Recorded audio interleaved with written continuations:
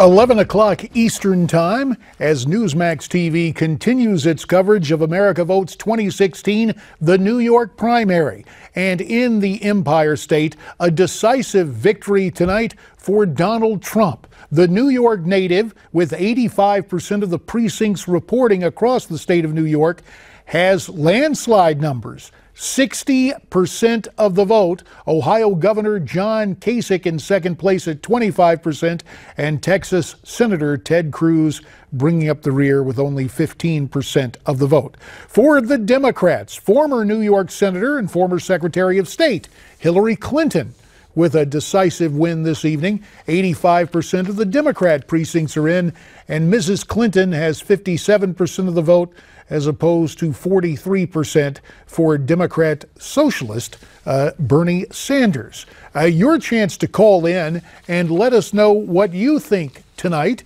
as we continue to monitor these numbers and get a lot of different opinions. You can reach us by picking up your phone and calling 1 877 Newsmax. That translates numerically as 1 877 7629. Let's continue our conversation from Newsmax Washington, syndicated columnist and uh, economist at the University of Maryland, a fellow who knows about economics and business, a guy I could learn a lesson or two from and always enjoy visiting with, Peter Morici. We appreciate you, Peter. You. And uh, also on the telephone, one of my old constituents checking in from Arizona. We've got Rose on the line. Rose, welcome to Newsmax TV. Hey, JD, it's been a long time. Yes, indeed. Good to hear your voice. anyway, uh, I'm I'm just wondering how long we're going to put up with all these lies. Uh, I've been a Republican all my voting life. I'm uh, well over 65, I'll put it that way. And my husband and I are both vets. Here's the point. We've heard for so many years, 20 years, that we have 10 million illegals in this country. I mean, it never went up or down, right? No, we're watching it. I don't care what anybody says across the country. We're close to the border. We're seeing the traffic. And it's all coming in. The only time they go close to the border is to wire money out to their own homeland. When is enough? What number is it? Do we have to take in all of Central America, South America, and, and when is enough? Our schools are exploding. Our taxes are going up. And Rose, you are making the case that I made a decade ago in my book, Whatever It Takes. And that's why I wrote the le- legislation back when George W. Bush was president, the Enforcement First Act, saying you've got to enforce existing laws. And Rose, as you were pointing this out, we can talk about the fact that while the dominant media culture has talked about, quote, 11 million illegals, we know that over the years, many more have come in. We should point out that we, we are likewise joined uh, tonight via phone from Southern California by Michael Reagan, who you can find and follow on Twitter at Reagan World. And Michael, as you listen to my old constituent Rose lament what is going on with illegal immigration, you are in a border state likewise in California where Governor Brown and the Democrat dominated legislature has apparently decided that illegals, whether they are on the path to citizenship or not, should be accorded all sorts of rights, including voting rights. Oh, yes. I mean, I live in a state that's crazy. I tweeted the other day we come here for the weather. We leave because of over, overtaxation, overregulation. Another tweet I sent out was in California now, there's more takers than makers. And those makers are leaving the state for that exact reason that you discussed. Peter Morici, we saw exit polling numbers from John Bachman just a second ago, where he said New York Republicans were asked about illegals. Should they be given uh, a path to citizenship? And I believe the numbers had it decisively in favor of a, quote, perhaps not path to citizenship, but a path to legalization uh, with fewer numbers for deportation. I always wonder about that. It's kind of like the poll question about uh, should you pay more in taxes or do you want your taxes cut? Sometimes I think that uh, the respondents are answering the way they think the questioner wants them to answer. Your take on what my uh, constituent Rose had to say from Arizona and uh, the whole challenge and the, and the real problem of illegal immigration. Well, we just can't round them up, put them on pickup trucks, and take them back across the border because there's so many of them. I mean, if we had a national policy of moving them out of their homes, we'd have to erect concentration camps outside of well, airports. Whoa, whoa, whoa, whoa, whoa, whoa, no, no, That is obvious hyperbole, Peter. Okay, that, that, no, no, I, I, appreciate having I mean, a difference in opinion, I, but that that is clear hyperbole. Okay. I'm, concentration I'm, I'm building camps. Sca- I'm, I'm going. Well, I'm, I'm building, Go ahead and erect building, the straw argument. Go ahead. Yeah, I'm trying to build some scaffolding. Please bear with me. Uh, we would have to round them up and put them someplace. Call it what you like. We'd have to detain them in some way because you just can't move them all on Boeing 747s all at once. There aren't enough Boeing 747s. I think you'll grant me that. The real answer, though, is in having a federal policy that doesn't permit the states to basically have immigration policies of their own. For example, grant them driver's licenses, uh, you know, permit them to work, uh, to register their children in school, and so forth. Uh, you know, I don't know why we provide highway monies to any state that grants uh, an illegal uh, a driver's license, for example. Make it so difficult to work here uh, be because we don't implicitly document them by giving them all access to all kinds of documentation through the states. I think that would make a lot of sense. But instead, we have a very passive federal government uh, which permits an illegal alien to walk into a public school and register their kid without the school calling up and having the guy picked up. You know, that, that's a basic problem.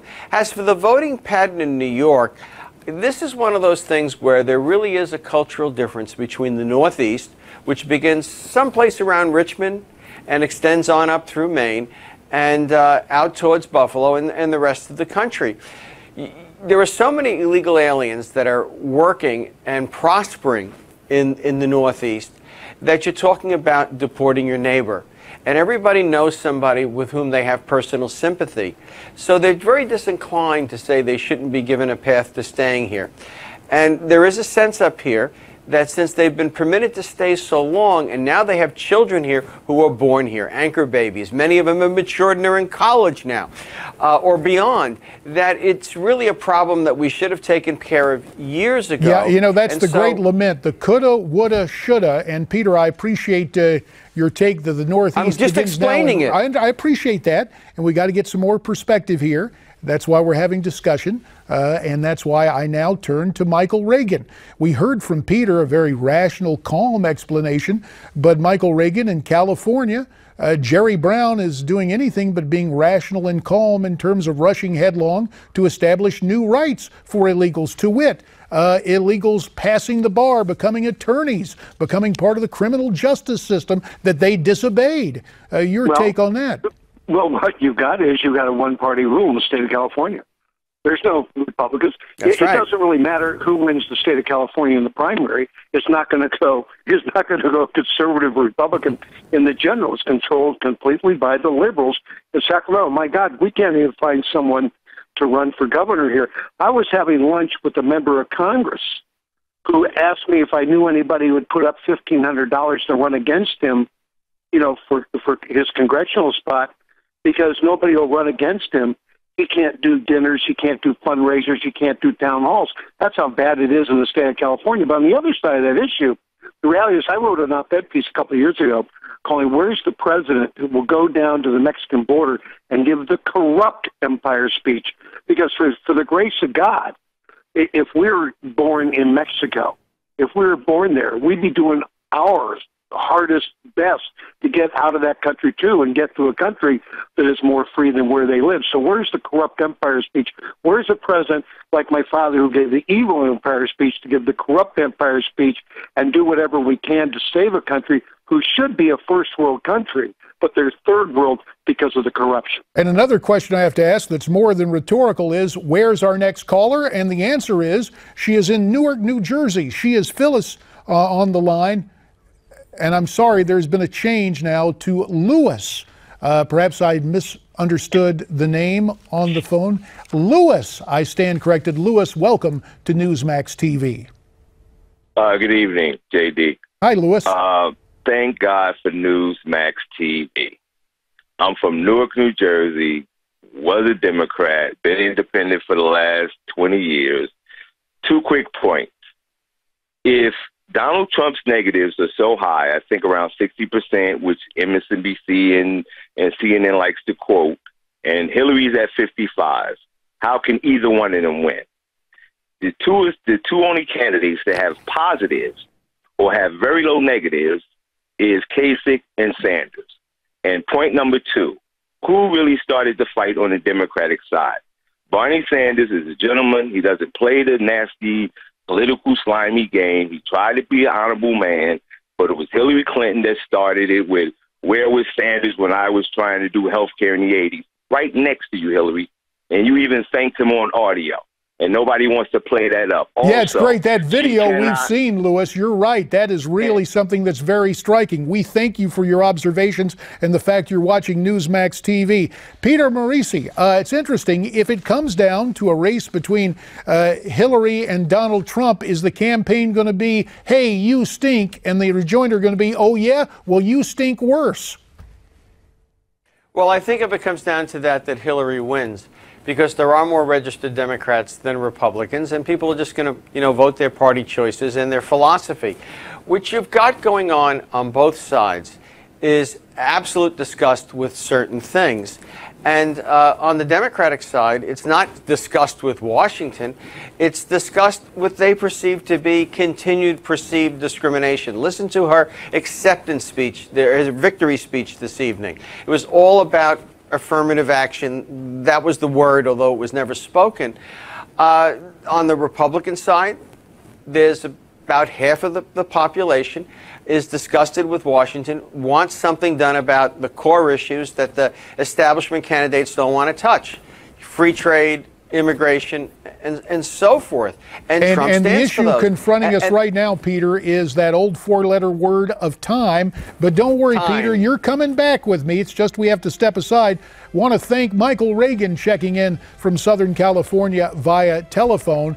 There's more time in our coverage tonight. We're just going to step aside with this reminder to you.